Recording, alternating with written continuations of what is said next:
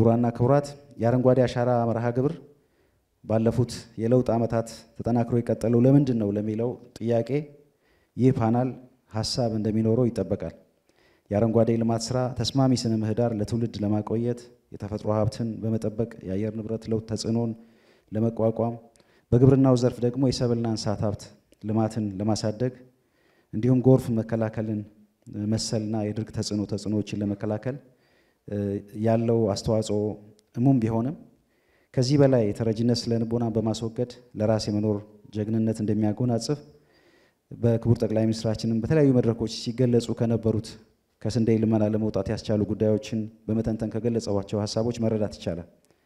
ኢዚያም እንደዚህ አይነት መድረክ ሲያዘጋጅ ከተሰጠው አገራዊ ተልዕኮ አንዱ የኢትዮጵያን ገጽታ የመገንባትና ብሔራዊ መግባባት የመፍጠር በመሆኑ እንደዚህ አይነት ከፍ ባሉ ጉዳዮች ላይ ህዝቦችን የሚያሰባስቡ የጋራ ትርክትን በሚያጸኑና ለሀገራዊ አጀንዳ አስተዋጽኦ ያላቸውን ጉዳዮች በመምረጥ ውይይት እንዲደረግበትና ውይይቱም በመገናኛ ብዙኃን አጀንዳ እየተፈጠረ ከህዝቡ ጋር መግባባት እንዲፈጠር ማድረግ ነውና ይህን ዛሬ ለ14ተኛ ጊዜ በዚህ ዓመት ብቻ እያካሄደው ያለውን ፓናል አጠናክሮ ይቀጥላል።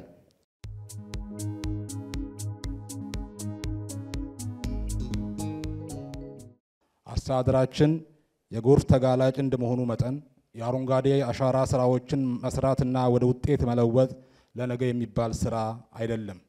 ይህንንም በመረዳት በጋራ በተሰሩ ስራዎች የአስተዳደሩን የጎርፍ ተጋላጭነት ትርጉም ባለው መልኩ መቀነስ ተችሏል። የአረንጓዴ አሻራን ሁነኛ መንገድ አድርጎ በመጠቀም በስራ ዕድል ፈጠራ ረገድም በተከናወኑ አበይት ተግባራት ተረጂነትን መቀነስ ችለናል። በዚሁም መሰረት በአረንጓዴ አሻራ መርሃ ግብር ያስመዘገብናቸውን ድሎች እና ስኬቶችን በማስፋት አጠናክሮ ለማስቀጠል እንዲሁም እንደ ሀገር እየተሰሩ ያሉ የአረንጓዴ ልማት የአየር ንብረት ለውጥን ከመቋቋምና የሕዝቦችን ትስስር ከማምጣት አንጻር ባላቸው ፋይዳ ዙሪያ የጋራ አረዳድ እንዲኖረን በማድረግ በዘላቂነት ሁሉንም የበኩሉ ድርሻ እንዲወጣ ግንዛቤ ለመፍጠር የዛሬው የፓናል ውይይት የላቀ አስተዋጽኦ ስላለው የፓናሉ ተሳታፊዎች በንቃት እንድትሳተፉ በአክብሮት ጭምር ለማስገንዘብ እወዳለሁ። በመጨረሻም በሀገር አቀፍ ደረጃ የጀመርነውን የአረንጓዴ አሻራ መርሃ ግብር የተሻለ ሀገር ለመገንባት እና የበለጸገች ኢትዮጵያን ለትውልድ ለማስተላለፍ ጅምር ስኬቶች የተመዘገበበት ንቅናቄ መሆኑን ተገንዝባችሁ በቀጣይ ውጤታማነቱን ለማጽናት ሁሉም ባለድርሻ አካላት በተለይ ወጣቱ ዋና ተዋናይ ሆኖ ሊቀጥል እንደሚገባ መልእክት እያስተላለፍኩ የፓናል ውይይቱ በይፋ መከፈቱን አበስራለሁ። አመሰግናለሁ።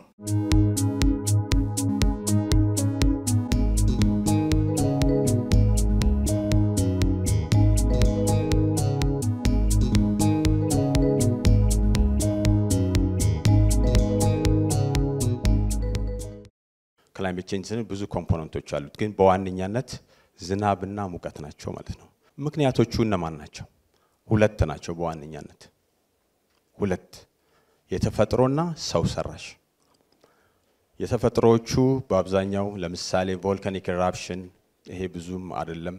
of course volcano erupt ሲያደርግ ብዙ ሙቀት አማቂ ጋዞች እንደ carbon dioxide release ይደረጋሉ። ሌላኛው ocean currents ናቸው። እንደዚህ El Niño effect አይነት የባህር ሞገድ ነው የምንላቸው literally እነሱ አሉ።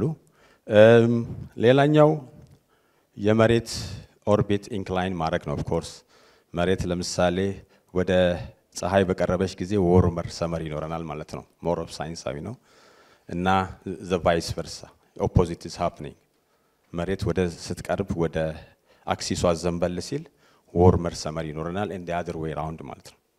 ይሄ ሙቀቱን ይጨምራል ማለት ነው። solar variation ነው። of course የምናገኘው energy በአጠቃላይ ከፀሐይ ነው። vary ያረጋል ይባላል፣ ግን ያን ያህል አይደለም። አሁን ላጋጠመን የአየር ንብረት ለውጥ crisis ወይም ቀውስ ዋነኛው ተጠቃሾቹ የኛው የራሳችን እንቅስቃሴዎች ናቸው። የሙቀት አማቂ ጋዞች ልቀት መበርከቱ፣ ሌላው fossil fuels የምንጠቀምባቸው ነዳጅ፣ coal እነዚህ ሁሉ በከፍተኛ ደረጃ እየጨመሩ ነው። almost አሉ። deforestation ምንጣሮ ነው የምንጣረው በከፍተኛ ደረጃ። farming livestock ምክንያቱም እንስሳቶች ወይም የቤት እንስሳቶች በሚያመነዥጉበት ጊዜ ሚቴን የሚባለውን ዋነኛውን ጋዝ ይለቃሉ።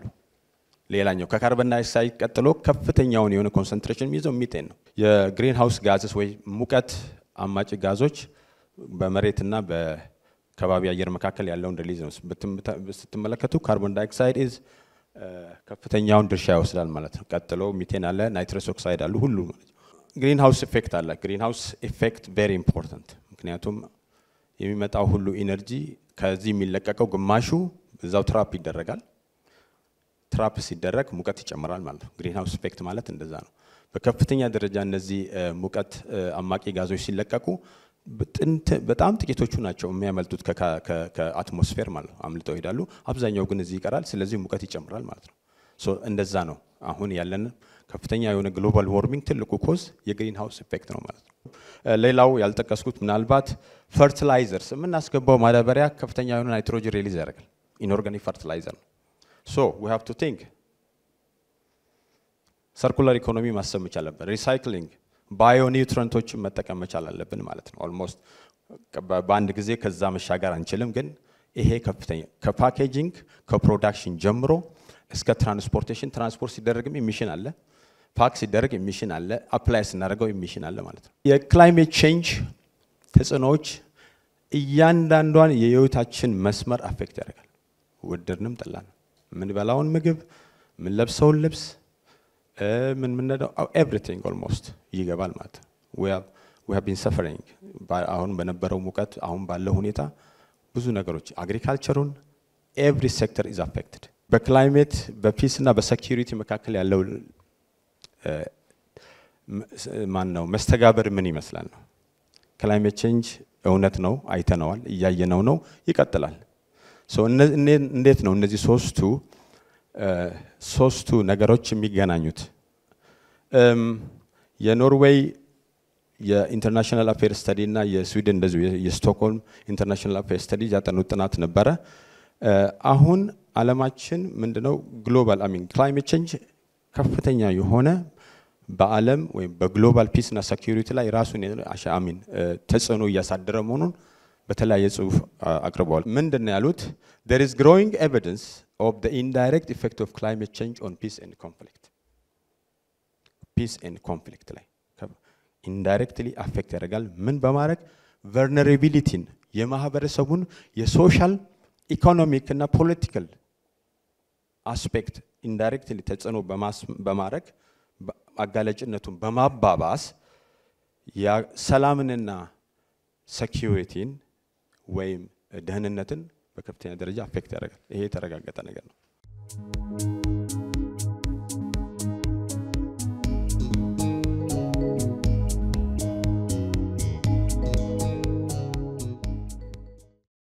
climate change የሚያመጣውን ተጽዕኖ ለመቋቋም የዓለም አገራት ተሰብስበው ተስማምተው ዘላቂ ልማትን ተፈራርመዋል። እዛ የዘላቂ ልማት ውስጥ አንዱ ግብ የ climate ለውጥን ተጽዕኖ መቀነስ፣ መቋቋም የሚችል ነገር መፍጠር። ዘላቂ ልማት 17 ግቦች አሉት። ከዛ ውስጥ አንዱ ግብ ስለ climate የሚያወራ ነው።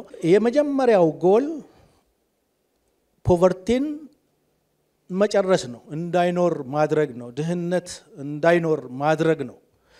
ምን ማለት ነው ለእኛ የሚለው ሁሉም ኢትዮጵያዊ የቀን ገቢው ከዚህ በላይ ማድረግ ማለት ነው። ሁለተኛው end hunger ነው የሚለው ሁለተኛው ግብ። ከዛ ውስጥ አንዷን አምስት indicator ኦች አሉት። ከአምስቷ አንዷን ወስጄ ባሳያችሁ የግብርና ምርትን double ማድረግ በ2030 በ10 ዓመት ውስጥ ያንን ማድረግ ይሄ ወረቀት ላይ ቀላል commitment ነው። ወደ ተግባር ስንቀይረው ግን በጣም ትልቅ commitment ነው። ምንድን ነው እስካሁን achieve ያደረግነውና የት ነው ያለነው የሚለውን ብንመለከት አንደኛ በፖሊሲ መታገዝ አለበት። ይሄ ይህንን ስንል የግብርና ፖሊሲያችን ይሄንን የሚደግፍ መሆን አለበት። ሁለተኛ ይሄንን vision ይሄንን ጎል ወደ ስትራቴጂ መቀየር ይፈልጋል። በሶስተኛ ደረጃ በፕሮግራምና በፕሮጀክት ቀርጸን መተግበርና የምንጓዝባቸውን ያስቀመጥናቸውን milestone መተንተንና የደረስንበትን መለካት ይፈልጋል። ሂደታችንን ስንመለከት በጣም incremental ነው። ለረዥም ጊዜ የነበረን ግብርና ላይ የነበረው ኢንቨስትመንት ጥሩ ውጤት እያመጣ ነው። መድረስ የሚገባን ቦታ ደርሰናል፣ አልደረስንም። ይበቃናል፣ አይበቃንም። ከዚህ የበለጠ ኢንቨስትመንት፣ የበለጠ ጥረት፣ የበለጠ ስራ ይፈልጋል። ግን በጥሩ መስመር ላይ መሆናችንን ያሳያል። ወደ transformation መቀየር እንዳለብን ያንን ነው የሚያሳየን። አረንጓዴ ልማት ወይም green economy የሚባለው globally በግብርና ዘርፍ ስናያቸው እነዚህ ሶስት ነገሮች ውስጥ እናጠቃልላቸዋለን። አንደኛ green growth ወይም የ green economy ከአፈር አንጻር ስናየው ለምነትን በከፍተኛ ደረጃ ይጨምራል። ይሄ ማለት ምርታማነታችን ይጨምራል። የተለያዩ ሰብሎችን double ለማድረግ ያግዘናል ማለት ነው። ሁለተኛ ውሃ ነው። ደን ያለበት ቦታ ላይ ውሃ ምን ይሆናል የሚለው ለእናንተ መንገር አያስፈልግም። እዛ ቦታ ላይ ብቻ ሳይሆን downstream benefit አለው። ያለበት ቦታ ላይ ብቻ ሳይሆን ካለበትም ውጪ ውሃን የመያዝ ውሃን avail እንዲሆን ለማድረግ ትልቅ ተጽዕኖ አለው። ለገቢም ከፍተኛ ጠቀሜታ አለው። አንደኛ ከ climate finance የመደራደር አቅማችን ጠንካራ በሚሆን ሰዓት ከ climate finance የምናገኘው ሰዎች እዛ አጥፍተው እኛ ለምንተክለው ተክል እዛ ያጠፉትን እኛ እዚህ ለሚደርስብን ተጽዕኖ የ climate finance ተጠቃሚ እንሆናለን። ሁለተኛ በተከልን ቁጥር ካርበን በሳበ ቁጥር የተከልነው ዛፍ ለዛ ካርቦንን እንሸጣለን ወይም ከ carbon trade የምናገኘው benefit አለን ማለት ነው። በሶስተኛ ደረጃ አረንጓዴ አሻራ በተስፋፋ ቁጥር በርካታ የስራ ዘርፎች ይከፈታሉ። በጣም በብዛት ይሄ የምንተክለው ተክል ለአየር ንብረት ብቻ ሳይሆን ለምግብነትም ለገቢም በሚሆን መልኩ ስብጥሩን እያስተካከልን ከሄድን እንደዚህ ያደርጋል ለማለት ነው። ይሄ ምን ይፈልጋል? አገር ውስጥ ብቻ ሳይሆን ዓለም ላይ ያሉ አገራት በሙሉ አብሮ መስራት አለባቸው። እዚህ የሚጠፋው እዛ ያጠፋል። ሌላ ቦታም የጠፋው ነገር እኛንም ያጠፋናል። ስለዚህ ዓለም በሙሉ ተባብሮ መስራት ያለበት የ climate change ተጽዕኖ ላይ እና የዘላቂ የልማት ግቦች ላይ ሁሉም ሰው መተባበር አለበት። partnership እሱን ወስደን ወደ አፍሪካ ስንመለስ የአፍሪካ ሀገሮች በሙሉ መተባበር አለባቸው ከሌሎቹ በተለየ መልኩ። መለስ ብለን ወደ ሀገራችን ስናመጣው ደግሞ ሁሉም institutions ሁሉም ሰው እዚህ ላይ መረባረብ አለበት። በመጨረሻ ይሄ ሁሉ ተደርጎ ኢኮኖሚያዊ፣ ማህበራዊ፣ የፕላኔትም ወይም የ environment ጠቀሜታ በሚኖረንና የምንሰራውም ስራ ውጤቱም ዘላቂ ከሆነ ወደ ብልጽግና ማማ እየወጣን እንሄዳለን ማለት ነው።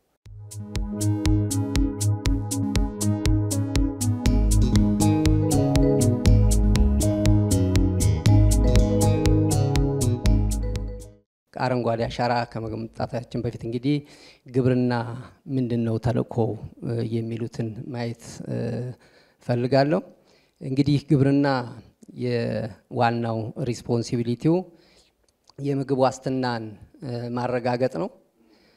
import substitution አለ፣ nutrition security አለ፣ climate resilient green economy የሚሉትን በዋናነት የማረጋገጥ ኃላፊነት አለበት ማለት ነው። እነዚህን ለማረጋገጥ ደግሞ የተለያዩ ስትራቴጂዎችን፣ አጀንዳዎችን ተቀርጾ እየተያያደ ያለበት ሁኔታ ነው።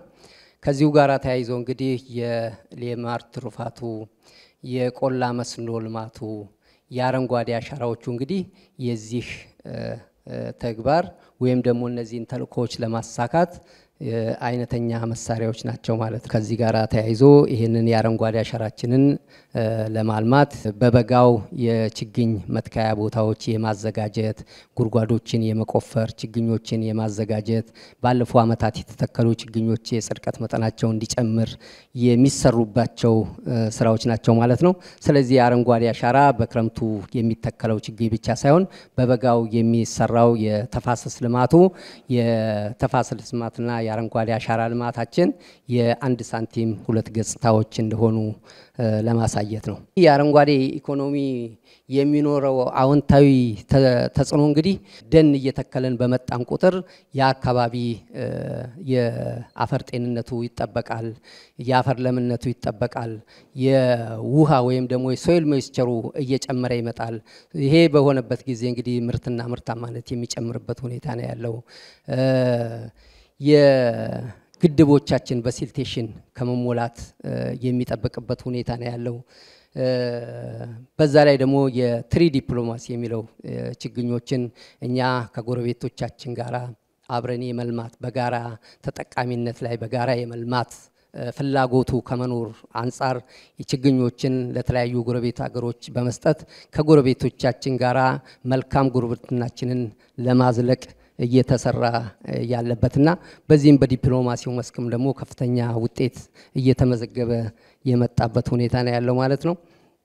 climate change ኡ እየቀነሰ በሚመጣ ጊዜ ምርትና ምርታማነት የሚጨምርበት የ food security food nutrition security እየተረጋገጠ የሚመጣበት import substitution ኡ ለምሳሌ ስንዴ ከውጭ ከማምጣት ይልቅ ወደ ውጭ ስንዴን የመላክ ጅማሮች ሁሉ መታየታቸው እንግዲህ የዚህ የአረንጓዴ አሻራችን ውጤት ነው ማለት ነው። ስለዚህ ከዲፕሎማሲው መስክ ከኢኮኖሚው መስክ እንግዲህ ስናየው የአረንጓዴ አሻራችን ከፍተኛ ጠቀሜታ ያለው መሆኑን ነው የሚያመለክተው።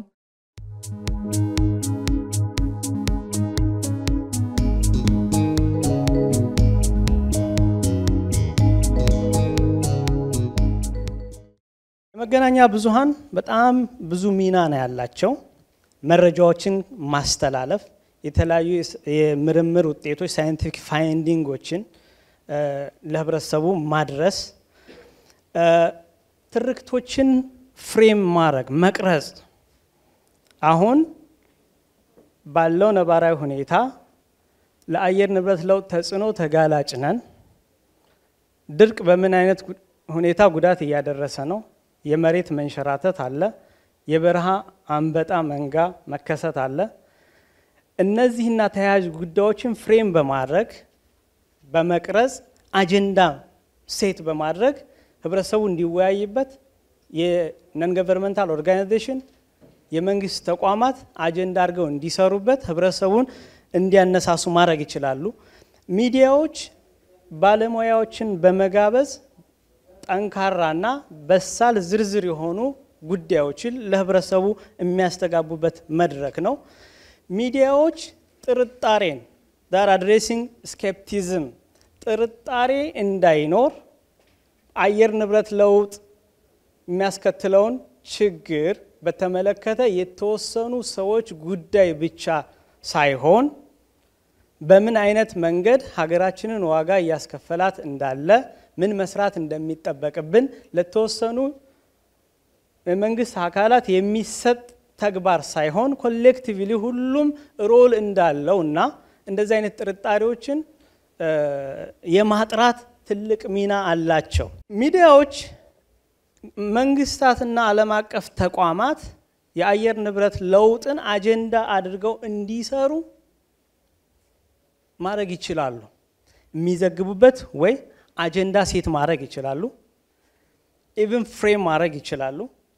even sometimes lobby now the international community have different organization like uh, international panel on climate change united nations framework convention on climate change የተለያዩ ተቋማት አሉ እነሱ ጋር collaboratively በመስራት መንግስታት የሚወስኑት ውሳኔዎች ህብረተሰቡን ለዘላቂ ልማት የሚያንደረድረው የሚያግዘው የሚደግፈው እንዲሆን lobby ማድረግ advocate ማድረግ በጣም ይችላሉ። ከኛ ሀገር ሚዲያዎች የአየር ንብረት ለውጥና የሚያስከትለውን ችግር ከመዘገብ አኳያ ምን ማወቅ አለባቸው? በመጀመሪያ the climate change landscape of Ethiopia and the region beyond በአህጉራችንም በሀገራችንም ያለው ተጨባጭ ነባራዊ ሁኔታ መሬት ላይ ምንድን ነው? በምን አይነት ሁኔታ ነው ለመሬት መራቆት የተጋለጥ ነው? ጎርፍ በምን ያክል ጊዜ ነው የሚያጠቃን? እንዴት ነው? ምን አይነት ሜጀሮችን ወሰድን?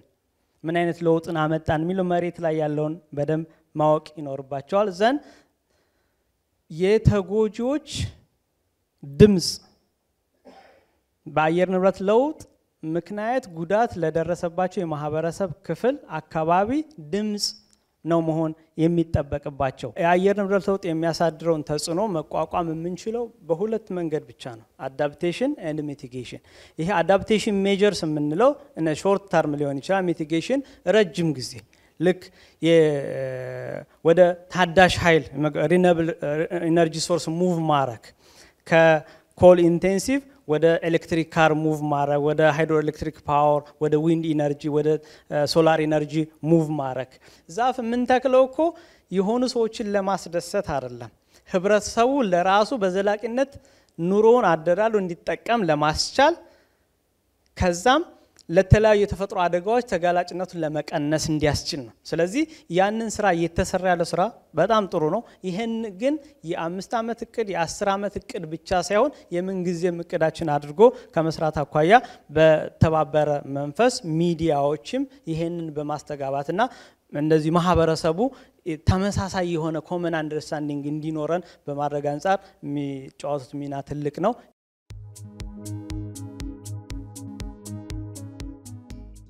bare land እና settlement አካባቢዎች ላይ soil erosion ኡ ከ2002 ከነበረበት በጣም ጨምሯል ይላል እና እንትኑ ላይ ሳየው ምናልባች ምክንያቱ ምንድን ነው? የተለየ ምክንያት ይኖረው ይሆን ወይ? ምናልባች የምንጠቀምበት ነገር ካለ ወይ ደግሞ ሊያግዘን የሚችል ነገር ካለ የሚለውን ለማስቀደም ነው። ቀጥሎ እኔ እንደተናገርኩት ከአፋር ነው የመጣሁት። አፋር ላይ እንግዲህ የተለየ የአየር ንብረት ለውጥ በጣም ከተጎዱና በጣም ደግሞ ከፍተኛ የሆነ ተደጋጋሚ የተፈጥሮ አደጋዎች ከሚከሰቱባቸው አካባቢዎች አንዱ ነው እና አሁን በምንሰራው በአረንጓዴ ልማት ላይ of course እንደ ሀገር እየሰራ ናቸው ያለ በጣም በጣም ጠቃሚና ትልልቅ ስራዎች አሉ። ግን እንደኛ አይነት በጣም ደግሞ የተጎዱ አካባቢዎች ላይ ለሁሉም ነው ይሄ ለ panelist ኦች ሁሉ ምክንያቱም ጥናት የሚሰሩ ምናልባት ለ policy maker ኦች ግብዓት ሊሆኑ የሚችሉ ነገሮችን የሚሰሩ እንደመሆናቸው እንደዚህ አይነት አካባቢዎች ላይ የተለየ ስትራቴጂ እንደ ሀገር ከያዝ ነው በተለየ የምንሰራባቸው አለ ወይ? ከዚህ በፊት ዛፍ ይተከላል እንጂ በፖሊሲ አይታሰርም። ዛፍ ይተከላል እንጂ በህግ ማዕቀፍ አይታሰርም። መትከሉ እንደተጠበቀ ሆኖ ለዘላቂ ልማት ግን ህዝቡ ይህን ነገር owned አድርጎታል ወይ? ለእናንተ ጥያቄ የምጠይቀው owned አድርጎታል ወይ? owned ካላደረገስ ምንድን ነው የሚጠበቀው? አስፈጻሚው አካል የወጣውን ህግ ፖሊሲ bedrock ውስጥ የ inject የተደረገውን initiative እና legacy ውን እያስፈጸመው ነው ወይ? አንደኛው ይሄ ነው። ሁለተኛው ማንሳት የምፈልገው በሀገራችን ያሉ ሚዲያ እንትኖች clustered ሆነዋል ወይ? ለምሳሌ ቅድም professional ስታነሳ ነበር እና ሁሉም ቦታ ነው የሚገቡት። ያ ደግሞ ጥሩ አይደለም። ለምሳሌ peace journalism peace ላይ ነው react ማድረግ ያለበት። environmental green environmental development አካባቢ ያለው እዛ ጋር clustered ሆኖ በዛ መሰረት ህዝቡን feed እያደረገ ነው ወይ? institutional reformation ካስፈለገ እዚህ አካባቢ መሰራት መቻል አለበት። ይሄ ነገር እንዲሰርጽ bottom እስከ ታች እስኪ እንዲወርድ መሰራት መቻል አለበትና neglected የሆነ ነው። ምክንያቱም ይሄ narrative area ው narrative power ኡ አራተኛው pillar ነው ሀገር የምትቆምበት ከኢኮኖሚ፣ military፣ political ቀጥሎ ያለው narrative power ኡ ነው ሀገር የሚያቆመው እና ምን ተሰራ እዛ አካባቢ የመጀመሪያው አቅራቢ ላይ ዶክተር ካነሱት ሁለት cause ኦች እናነስተዋል ለዚህ እንትን ማለት ነው። አንደኛው ተፈጥሮዊና ሁለተኛ ሰው ሰራሽ ናቸው ብሎ አንስተዋልና ከነዚህ ሚዛኑ የሚጓለው የትኛው ላይ ነው? እንዴትስ ነው መስራት ያለብን? በጥናት የተረጋገጠ ነገር ካለ እዚህ የተሰበሰብነው ለመፍትሄው አካልም ለመሆን ነው። በተለይ አሁን እንደ ሕዝብ ተወካዮች ምክር ቤት የተለያየ የሚመለከተው አካልን የምንከታተለው ምንሰራው ስላለ እሱ ጋር ተያይዞ በጥናት የተረጋገጠ ነገር ካለ እሱ ላይ መረጃ እንዲሰጡን እንደ ጥያቄ የማነሳው በተለይ ከዚህ ከመንከባከቡ ጋር ተያይዞ እውነት ለመትከልና በቀኑ በጉጉት ወጥተን ለመስራት እንደምንሄደው ሁሉ እንክብካቤው ላይ በዛ ልክ እኛስ እንሄዳለን ወይ? ሚዲያዎቻችንስ የእንክብካቤውን ጊዜ ጠብቀው ውሃ ሲያጠጡ ሄዶ ሲኮተኩቱ ምን ደረጃ ደረሰልን ሲሉ አንዳንዶቹ አጥር ሲያጥሩበት ከአንዳንድ ቦታ የምናገኘውን ልምድ ተሞክሮ ወስዶ ወደ ሌላ አካባቢ ማስተላለፉ ልምዱ ጠንካራ ነው ወይስ ምንድን ነው ማለት የምንችለው? ለወደፊትስ ምን ቢሆን ጥሩ ነው ብለን ነው የምናስተላልፈው የሚለው በደንብ ቢነሳ ደስ ይለኛል። ከዛም አልፎ ያው ችግኙ ሲተከልም ሁላችንም እኩል በደንብ serious ሆነን ስሩንም በደንብ ጠብቀን በደንብ ተክለን በደንብ አስተካክለን እንሄዳለን ወይ የሚለው ላይም ትንሽ ጠንከር አድርገን ለሕዝባችን ያው በዚሁም ትምህርት ስለሚሆን ማስተላለፍ ብንችል ጥሩ ነው ብዬ አስባለሁ። እኔ sustainable development goal ብቻ ሳይሆን አረንጓዴ ልማታችን the kind of sustainable nation building ነው ብዬ በወስዶ ደስ ይለኛል። በዛሬ መድረክ ላይ sustainable nation building ነው ብዬ የምነሳበት ምክንያት በአምስት ዓመት በስምንት ዓመት በአስር ዓመት የምናቆመው ያለ ማስፈራት ሰው በዚህ ምድር ላይ survive እስካደረገ ድረስ ከነዚህ አምስቱ ውጭ አይደለም የምንንቀሳቀሰውና እስካሁን ያመጣናቸው የሰራናቸው ትልቅ ለውጦች እድገቶች አሉ። ግን ደግሞ በአንድም በሌላ የሚነሱ ጉዳዮች የሆነ ነገር የጎደለ መስሎ ስለሚታየኝ ነው እሷን ጥያቄ pose ላደርግ የምፈልገው።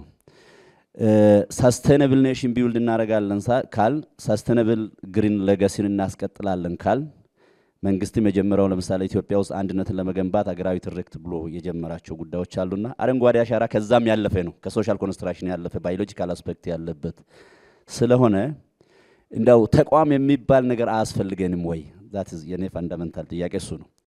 የምርምር ተቋማትና እነዚህ knowledge production centers የምንላቸው የእውቀት አመንጭ ተቋማት በዚህ ባለፈው በ green legacy initiative ትግበራ ላይ ምን አይነት ሚና ነበራቸው? አንደኛው ትልቁ ችግር የ spatial data መሰብሰብ ችግር ነበር። data ከ ground ማምጣት የ reliability ችግር። ዘንድሮ ምንድን ነው የታሰበው? ባለፈው ዓመት ብዙ ትግል ተደርጓል። ልክ ነው፣ progress ተደርጓል።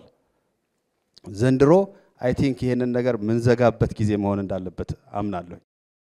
በተለይ የአየር ንብረት ለውጥ በጣም በቀጥተኛ ተጎጂ ከሚያደርገው ተቋም አንዱ የእኛ ተቋም ነው።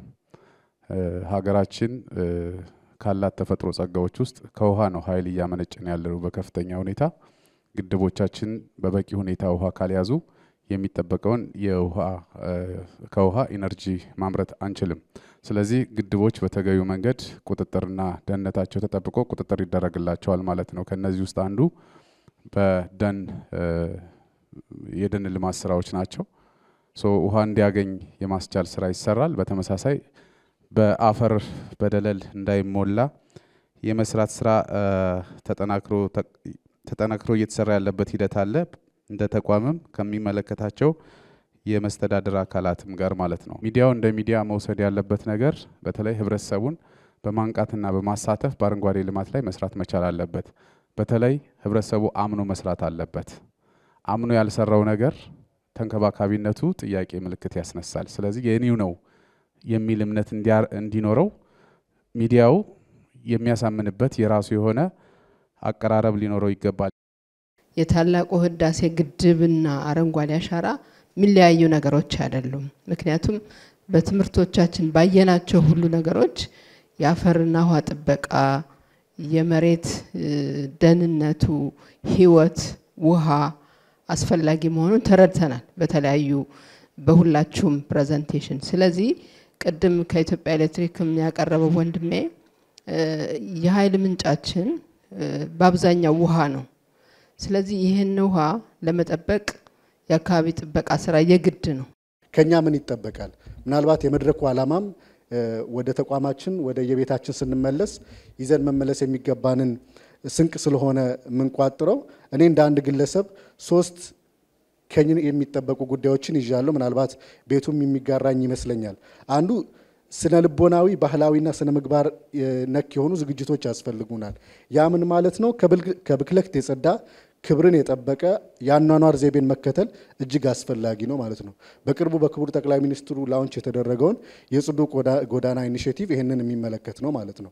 ስለዚህ በግለሰብ ደረጃ የምንኖረውን ኖሮ፣ በቤተሰብ ደረጃ የምንኖረው ኑሮ ለምድር የምንመች የሆንን ነዋሪዎች እንድንሆን በምላሹም ደግሞ ምድር ለእኛ የምትመች አይነት መኖሪያ እንድንሆን የሚያስችል ስለሆነ በዛ ልክ ኑሯችንን የአኗኗር ዘይቤያችንን ከብክለት የጸዳ ሰብአዊ ክብርን ባከበር አይነት መልኩ መኖር ያስፈልጋል የሚለውን እንደ አንድ የቤት ስራ ወስጄዋለሁ። ከዚህ መድረክም ተምሬያለሁ። ሌላኛው ኢኮኖሚያዊ ዝግጁነቶች ያስፈልጉናል። ከቤቱ ሲነሳ ነበረ። እያንዳንዱ የምናደርገው ኢኮኖሚያዊ መስተጋብርና እንቅስቃሴ ምን ያህል ከአካባቢ ጋር የተመቻቸ ነው፣ የአረንጓዴ ልማት እንቅስቃሴያችንን የሚያግዝ ነው የሚለውን መመልከት እጅግ አስፈላጊ ይሆናል ማለት ነው። ምናልባት አንዳንድ ለኢኮኖሚ ዘርፉን ስንመለከት የአረንጓዴ ልማት እንቅስቃሴዎች ከወጪ አንጻር የማይመቹ ሊሆኑ ሊመስሉ ይችላሉ። ግን ከሚያመጡት ዘላቂ የሆነ እፎይታ አንጻር ተመራጭ መሆን ይገባቸዋል። በሌሎች ዘርፎች ላይ የምንመለከተው ለምሳሌ ከትራንስፖርት ሴክተር አንጻር ከብክለት የጸዱ ወይ ደግሞ ሞተር አልባ የሆኑ እንቅስቃሴዎች በጣም የሚበረታቱበት ጊዜ ላይ ደርሰናል። ከዛ ባሻገር ደግሞ ሙሉ በሙሉ ወይ ደግሞ በከፊል በኤሌክትሪክ የሚሰሩ ተሽከርካሪዎች promote የሚደረጉበት ጊዜ ላይ ደርሰናል። ሌሎችም በየዘርፉ በቱሪዝምም በሌሎችም ዘርፎች ላይ ከብክለት የጸዳ አሰራርና የኢኮኖሚ መስተጋብርን promote የምናደርግበት አሰራር በቀጣይነትም ሊጠናከር ይገባል። ሶስተኛውና ዋናው ፖለቲካዊ የሆኑ የፖሊሲና የ strategic አቅጣጫዎችን በዛ ልክ ይተገበራሉ የሚል ተስፋ አለኝ። የተተገበሩም ይገኛሉ። ይሄ ቤት በ composition ኑ ሙሉ ነው። ከህግ አውጪው አካልም እዚህ መካከላችን ይገኛሉ። ህግ አስፈጻሚውም የሆነው አካል እዚህ መካከላችን ይገኛል። በተለያዩ ተቋማትም ደግሞ የትምህርት ተቋማትንም ወክላችሁ እዚህ ያላችሁ አላችሁና የፖሊሲ አቅጣጫዎች ስትራቴጂዎችም ደግሞ እንዲሁ ያስፈልጉናል። ከዛም ባሻገር ደግሞ ጥረታችን ኢትዮጵያ ለብቻዋ አረንጓዴ ብትሸፈን ምድር ላይ የሚኖረው impact እስከዚህም ሊሆን ይችላል። ስለዚህ ቀጠናዊ የማድረግ ቅድም ከቤቱ ሲጠቀስ ነበረ ዲፕሎማሲያዊ በሆኑ አካሄዶች አካባቢውም ደግሞ ለስጋት ተጋላጭ እንዳይሆን የአካባቢ መራቆት እንዳያሰጋው፣ ሌሎችም ደግሞ ተዛማጅ የተፈጥሮ አደጋዎች ፈተና እንዳይገጥመው ኢትዮጵያ ላይ የተጀመረውን የአረንጓዴ ልማት እንቅስቃሴ የጎረቤት ሀገራት ከዛም ባሻገር ደግሞ አፍሪካም own እንድታደርገው የሚሰሩ ስራዎችም መበራከት ይኖርባቸዋል።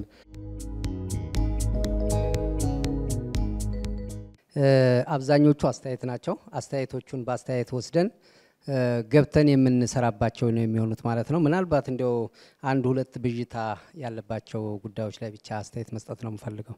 ምናልባት ከ soil erosion ጋር በተያያዘ በእያንዳንዱ የስነ ምህዳር ላይ ምን አይነት ተጽዕኖ አለው የሚለው ጥናታዊ ጽሑፍ የቀረበው ላይ በ bare የሆነ መሬት ላይ በእርሻ መሬት ላይ settlement አካባቢ ላይ ያሉትን የሚያሳይ ጥናት አለ። እንግዲህ ግራፎቹ ላይም በጥናቱ እንደታየው cover ወይም ደግሞ ዛፍ ያለበት ቦታ ላይ erosion ኑ የሚቀንስና የአፈር ክለቱም የሚቀንስበት ሁኔታ፣ ተጋላጭ የሆነ bare የሆነ ቦታ ላይ ደግሞ erosion ከፍተኛ የሚሆንና የአፈር ክለቱም እንደዛው እንደሚጨምር፣ settlement አካባቢ ላይ ይሄ በሰፈራ የሚመጡ አካባቢዎች ላይ እዛ አካባቢ ያለውን ተፈጥሮ ከመጉዳት አንጻር ያለው የተጋላጭነት ከፍተኛ ከመሆኑ የአፈር መከላቱም እንደዛው እንደሚጨምር የሚያሳይና አሁን ግን እየተሰሩ ያሉ ስራዎች ይህንን የሚቀርፉ ስራዎች ጅምሮች አሉ። ነገር ግን በጣም ብዙ እንደሚቀረን የሚያሳይ ነገር አለ። ምክንያቱም ተራራዎቻችን ብዙ ናቸው፣ የተጋለጡት መሬቶቻችን ብዙ ናቸው። እኛ ሪአክት ያደረግንበት ከዛ አንጻር ስናይ ግን ትንሽ ነው የሚለውን ወስደን በቀጣይ ግን ይህንን ለመቀልበስ የተጀመሩት ስራዎች ተስፋ ሰጪ ናቸው የሚለውን ብንወስድ የሚል ማንሳት ነው የምፈልገው። ሌላው ከ sustainability ጋራ ተያይዞ የተነሳው ቅድምም በ presentation ላይ እንዳነሳሁት የአፈርና ውሃ ጥበቃ ስራ በኢትዮጵያ ውስጥ ከተጀመረ ቆይተዋል። ነገር ግን sustainability ው ነበረ ችግሩና አሁን ያለው sustainability ባለቤትነትን ከመፍጠር አንጻር አሁን ባለው ሁኔታ ከሰባት ሺህ በላይ ማህበራቶች በለሙ ተፋሰሶች ላይ ተደራጅተው በዛ የኢኮኖሚ activity ያቸውን እየሰሩ ያሉበት ሁኔታ አለ።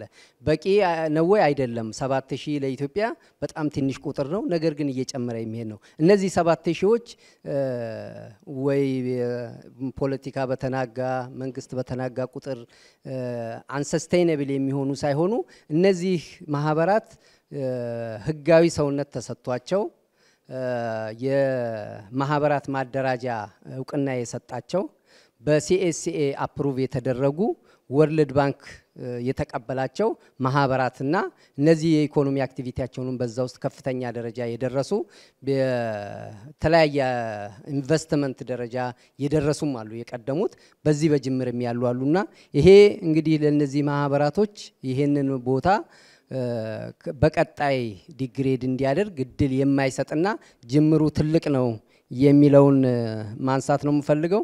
የዘንድሮ ምንድን ነው ምን ታሳቢ ተደርጎ ነው ከባለፉት አመታት የአረንጓዴ አሻራ ተከላ የዘንድሮ ልዩ የሚያደርገው ምንድን ነው የሚለው ነገር ላይ ምናልባትም አንዱና ዋነኛው ባለፉት አራት አመታት ውስጥ የተጓዝንባቸው ጉዞዎች ትልቅ ልምድ ሆነዋል የሚለውን ወስጄ ግን እነዚህን ደካማ ጎኖቻችንን በመቅረፍ ዘንድሮ በከፍተኛ ሁኔታ እስከ ወረዳ ድረስ የደረሰ የቴክኖሎጂ ወይም ደግሞ የ GIS ስልጠና ለባለሙያዎች የተሰጠበት ሁኔታ ነው። በየሁለት ሳምንቱ የአረንጓዴ አሻራ የግብርናው መዋቅር የደኑ መዋቅር እየገቡ በየሁለት ሳምንቱ በ Zoom meeting በከፍተኛ አመራሩ በክቡር state ሚኒስትሩ የግብርና አልፎ አልፎ በየሁለት ሳምንቱ የግብርና ሚኒስትሩ ሌሎችም የክልል ግብርና ቢሮ ኃላፊዎች እና ዳይሬክተሮች ባለሙያዎች የሚሳተፉበት በ Zoom meeting በየሁለት ሳምንቱ እየተገመገመ እየተገመገመ ደካማ ጎኑ እየተቀረፈ ጠንካራ ጎኑ ከክልል ወደ ክልል share እየተደረገ መሰረት ተይዞ እየተሰራ የመጣበት መሆኑ ነው። ሌላው እነዚህ የተደራጁ ማህበራቶች በየአመቱ እየጨመሩ መምጣቱን ነው። ሌላው ከባለፉት አመታት ዘንድሮ ከአንድ ነጥብ ሁለት ሚሊየን ሄክታር በላይ geo referenced የተደረጉ የተፋሰስ ቦታዎች መኖራቸው ነው። ባለፉት አመታት ያልተደረጉት የተከላ ቦታዎችም ዘንድሮ በከፍተኛ ሁኔታ በ geo reference የተደረጉ መሆናቸው ይሄ ታሳቢ ተደርጎ ልምዶቹ ተጨማምረው የዘንድሮውን የአረንጓዴ አሻራ ልዩ የሚያደርግና ለመመዝገብ የሚያስችለን ደረጃ ላይ ነን የሚለውን ካነሳሁ ሌሎቹ የተነሱት አስተያየቶች ስለሆኑ አስተያየቶቹን በአስተያየት ወስዳቸዋለሁ። አመሰግናለሁ። ሁለት cause ኦች አሉ ለ climate change ሰው ሰራሽ እና የተፈጥሮ። ቅድም እዛ slide ላይ ለማሳየት እንደሞከርኩት የ natural causes የምንላቸው ለምሳሌ ከ volcano ከ solar energy ከዛ ጋር የተያያዙት insignificant contribution ያላቸው ከ17 50 በፈረንጆች አቆጣጠር ጀምሮ እዛ ጋር አይተው እንደሆነ less than less than plus or minus 0.5 percent of the total። ስለዚህ responsible የሚሆነው ማን ነው? በአብዛኛው responsible የሚሆነው የኛ የሰው ልጆች እንቅስቃሴ ነው። biofuel ምን coal እነዚህ fuel የምናነዳቸው እንትኖች አሉ ብዙዎቹ። ስለዚህ እዛ ላይ አይተው እንደሆነ ከኢንዱስትሪ አብዮት ጀምሮ የ carbon dioxide concentration atmosphere ውስጥ በጣም spike ነው ያደረገው በከፍተኛ ደረጃ። ስለዚህ እዚህ ላይ ነው መስራት ያለብን። climate action sustainable development goal 13 climate action ነው። mitigation እና adaptation ስራዎች መሰራት አለባቸው። እነዚህ ደግሞ across all the sectors መሄድ መቻል አለባቸው። አስራ ሰባቱም የዘለቄታ የልማት ግቦች ለ climate change mitigation adaptation opportunity ይሰጡናል። ሁሉም ጋር መስመስ እንትን ማለት አለብን ማለት እንችላለን። ስለዚህ አሁን ላለንበት የ climate crisis ወይም ቀውስ የአንበሳውን ድርሻ የሚችለው የራሳችን እንቅስቃሴዎች ናቸው። ቅድም ለማሳየት እንደሞከርኩት እና ምን መሰራት አለበት ለሚለው ከዛ ጋር በተያያዘ ይሄ የ fertilizer ኡ ጉዳይ ነው። አንዱ ትልቅ nitrous oxide inorganic fertilizer ነው፣ rock phosphate ነው። የምናመጣው ከተወሰኑ ሀገሮች ላይ ነው። በነገራችን ላይ non renewable resource ነው። ሞሮኮ፣ ራሽያ፣ አሜሪካና ቻይና ብቻ ነው ያለው። እሱም depleted ይሆናል። debate ኡ ከሰባ ዓመት እስከ 250 ዓመት አካባቢ ይቆማል። አማራጭም የለንም for that matter is going to be depleted። ሲወጣ nitrate emit ያደርጋል። ፓኬጅ ሲደረግ emission አለ። ትራንስፖርት ስናደርገው ማን ነው መኪናዎቹ የሚሆኑ ባቡሩም emit ያደርጋሉ። ስለዚህ it's not sustainable። ምንድነው አማራጫችን? የተፈጥሮ ማዳበሪያዎችን ጎን ለጎን totally drop አናደርገው የግድ ነው። የተፈጥሮ ማዳበሪያ የሚባሉ እነዚህ promote ማድረግ መቻል አለበት። የተጀመሩ የእነዚህ የተፈጥሮ ማዳበሪያዎች ላይ side by side ከዚሁ ከ inorganic fertilizer ማስኬድ ይቻላል። ያ ነው solution ኑ ለጊዜው ያለው። ሁለት critical challenge የተነሱት አፋር ላይ ሁለቱም አሉ። ብዙ ቦታ ላይ ወይ ዝናብ እጥረት ነው ወይ flood ነው ችግሩ። አፋር ግን ሁለቱም አለ። የዝናብ እጥረቱም አለ፣ ያ effect አለው። ጎርፉም አለ። አብዛኛው ሰው ወይም ደግሞ ብዙ ሰው የአዋሽን ተፋሰስ ተከትሎ settle ስለሚያደርግ ሁለቱም effect አለው እና ጎላ ብለው የወጡት feed fodder እና fruit።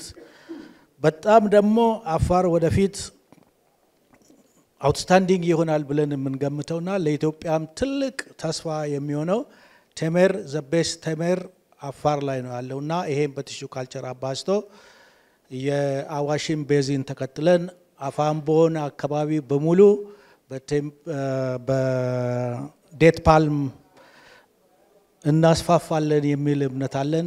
ይሄን ደግሞ እናግዛቸዋለን። እናንተ ብቻችሁ የምትሰሩት ነገርም አይደለም። ስለዚህ የወደፊት ተስፋችን አፋር ነው። ሁለተኛ institution እና institution አለ፣ እንደ ተቋም አለ። ያ ተቋም የሚገባውን ያክል ተጫውተዋል አልተጫወተም። የፎረስትና የፎረስት ሪሰርችና ዲቨሎፕመንት አለ። role ኡን ነው የምንቀይረው ወይስ ጠንካራ ፕሮግራም ቢኖረን ነው የሚሻለው የሚለው የውሳኔ ሰጪዎችን አስተያየት ነው የሚፈልገው። ይሄ technically እኔ opinion ብጠየቅ ጠንካራ ፕሮግራም ቢሆን ተቋማቱን አጠናክሮ በጥሩ ክትትል ቢታገዙ ውጤታማ ይሆናል። admin cost እያበዛን በሄድን ቁጥር effect ስላለው ማለት ነው። ያንን ለማለት ነው የፈለግኩት። mitigation እና adaptation ወንድሜ ያነሳው እውነት ነው። ነጮቹ ሲመክሩን mitigation ተውና adaptation ላይ ትኩረት አድርጉ እናንተ ቶሎ ቶሎ አትደጉ ማለት ነው። ትርጉሙ ጥሬ ትርጉሙ እንደዛ ነው። ግን እኛ ሁለቱንም እንሰራለን። mitigation ላይ እንሰራለን፣ adaptation ላይ እንሰራለን። አቅማችንን እየገነባን ወደ mitigation እንሄዳለን።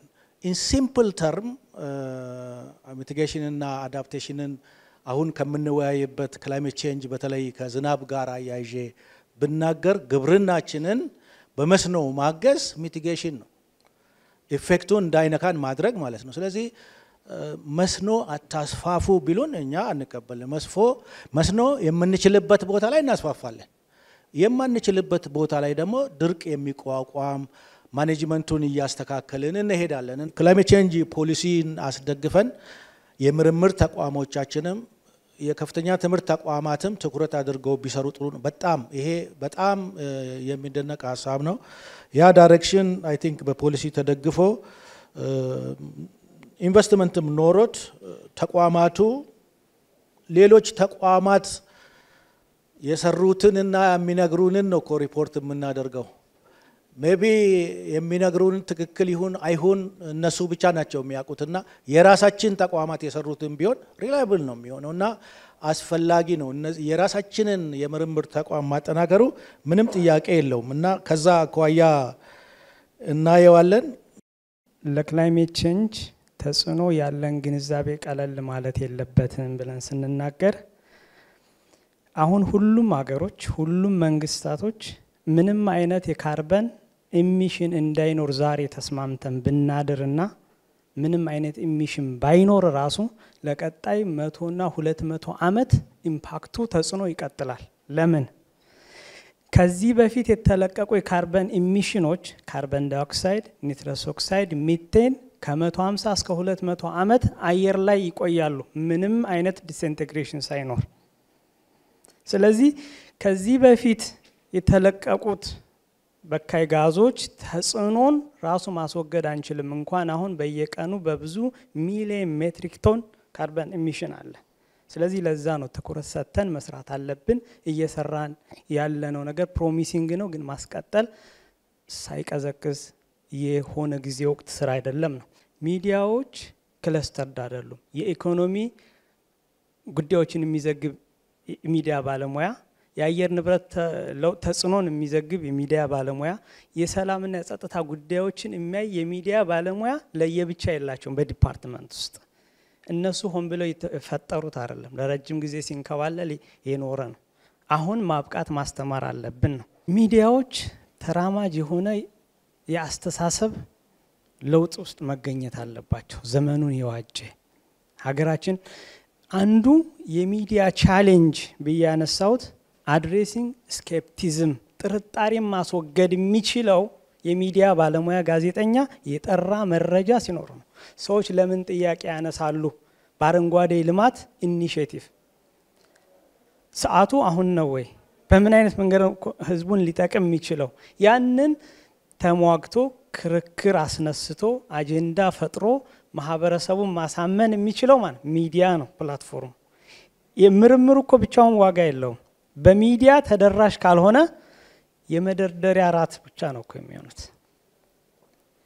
ስለዚህ ሚዲያዎች ያንን የማድረግ ትልቅ አቅም አላቸው። ከአራት ዓመት በፊት የአረንጓዴ ልማት አሻራ 20 ቢሊዮን ችግኝ መትከል እንችላለን ሲሉ ክቡር ጠቅላይ ሚኒስተር ሲዘግቡት እኳ ይቻል ይሆን እንዴ? ማድረግ ይቻላል? በጥያቄ ምልክት ነበረ ለአንድ ዓመት ግን በአንድ ዓመት 350 ሚሊዮን በ12 ሰዓት ውስጥ ተተክሎ ሲታይ ተተከለ ሆነ ነው። በመስራት ለውጥ ማሳየት እንችላለን። የሚዲያ አካላት ሁሉም climate governance የሚል አለ። climate governance ማለት የተወሰነ የመንግስት ተቋማት ብቻ ወስደው የሚሰሩት ስራ አይደለም። እያንዳንዱ ዜጋ ከግለሰብ ጀምሮ የራሱን የሆነ አሻራ ማስቀመጥ ይኖርበታል። ያኔ ነው ለውጥ ማንጣት የምንችለው። በዛ መልኩ ነው ነገሮችን አድሬስ ማድረግ የምንችለው። ስለዚህ በተባበረ መንፈስ የተጀመሩትን የአረንጓዴ ልማት አሻራ ዘላቂነት እንዲኖረው እና ህብረተሰቡን ከዛ የበለጠ ተጠቃሚነት እንዲኖረው አሁን ስራውን የህብረተሰቡ የመጨረሻ end product ማድረግ እኛ means ነን። እኛ እንዲሰራ እንዲጠቀም ነገሮች እንዲሳለጡ ማበረታታት ነው። ግን መጨረሻ ተጠቃሚ ማህበረሰቡ ነው ታች ያለው ስለዚህ በተቀናጀና በተናበበ መልኩ ተስፋ ሳንቆርጥ ረጅም ጉዞ ተጉዘን ህብረተሰቡን ተጠቃሚነቱን ማረጋገጥ እንችላለን። አመሰግናለሁ።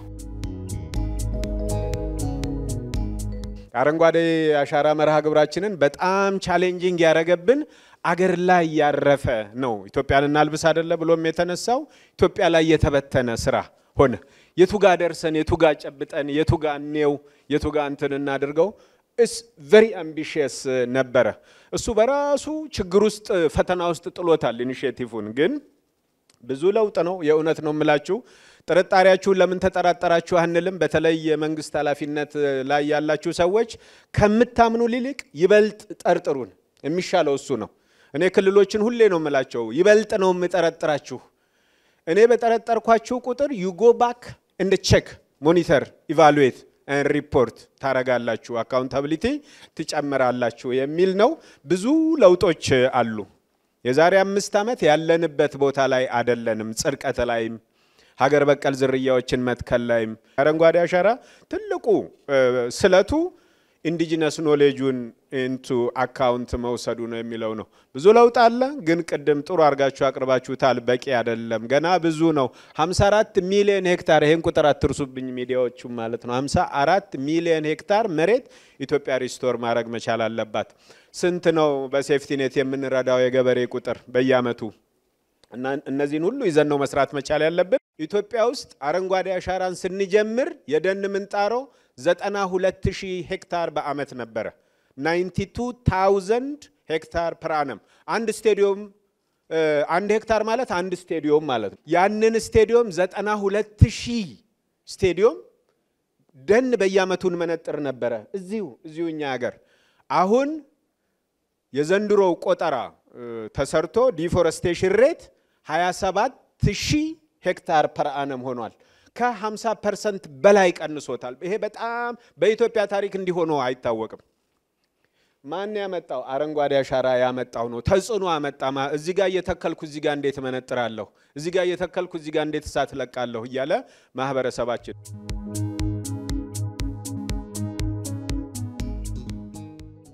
ስለ አየር ንብረት ለውጥ በጣም ብዙ ነገር ከዚህ በፊትም ብለናል። ዓለም በብዙ መንገድ ተግባብቶበታል።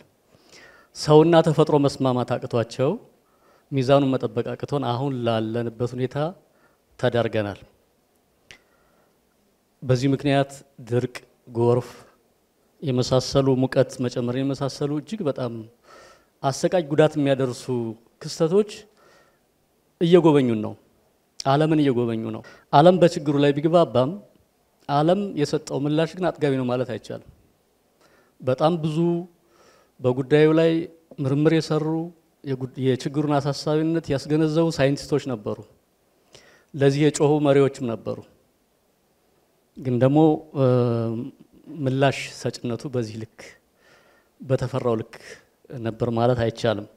ዋናው ነገር ሀገራችን ለዚህ ምን ምላሽ ሰጠች ነው ዛሬ የተነጋገርንበት። ሀገራችን ለራሷም ለዓለምም አስተማሪ የሆነ ነገር ነው የሰራችው።